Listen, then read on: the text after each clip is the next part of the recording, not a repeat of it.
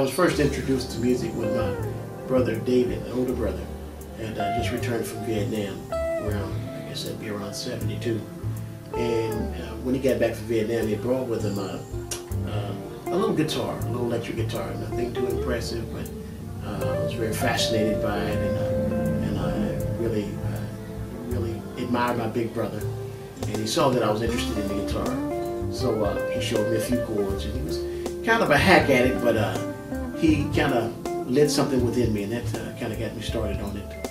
And it just kind of, everything just kind of went from there. Uh, when I first picked up the guitar, it was very exciting, and uh, I just felt something uh, special about it. It's, uh, you know, I was a young kid, and, and uh, in the little town where I grew up, I didn't have much to do. You know, I was really enjoyed art and things like that. I, but when the guitar was introduced to me, I knew something was there, something, something about it.